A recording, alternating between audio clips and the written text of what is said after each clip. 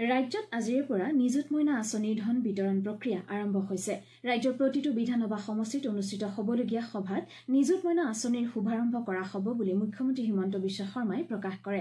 খানাপাৰাৰ অসম পশু চিকিৎসা বিজ্ঞান মহাবিদ্যালয় খেলপথাৰত আজি মুখ্যমন্ত্ৰী হিমন্ত বিশ্ব শৰ্মাই নিযুত মইনা আঁচনিৰ শুভাৰম্ভ কৰে। নৱেম্বৰ মাহৰ পৰা ডিবিটিৰ জৰিয়তে ছাত্ৰীসকলৰ বেংক একাউণ্টত ধন সোমাব বুলি মুখ্যমন্ত্ৰীগৰাকীয়ে প্ৰকাশ কৰে।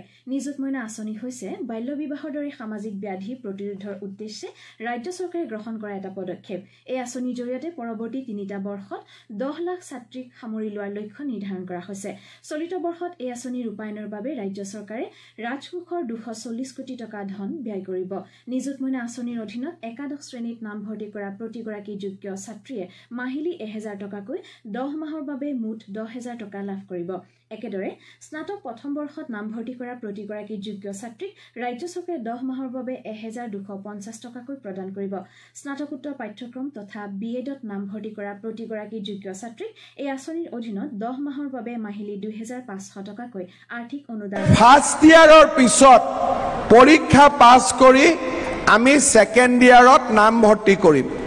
ছেকেণ্ড ইয়াৰত আমি যদি পৰীক্ষা পাছ কৰোঁ তেতিয়া আমি ছেকেণ্ড ইয়াৰৰ পইচা পাম।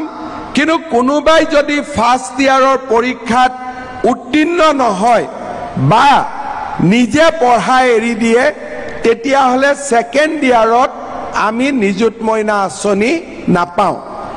আৰু এটা সৰু ইয়াত চৰ্ত নহয় পৰামৰ্শ যে ছাত্ৰীসকলে তেতিয়া নিযুত মইনা আঁচনি পাব যাৰ বিৰুদ্ধে কোনো অভিযোগ নাথাকিব। অৰ্থাৎ অভিযোগ মানে ক্লাছ নকৰা বা বিভিন্ন ধৰণৰ যিবিলাক আমাৰ স্কুলত যাক ভাল একাডেমিক এক্টিভিটি বুলি কোৱা নহয়।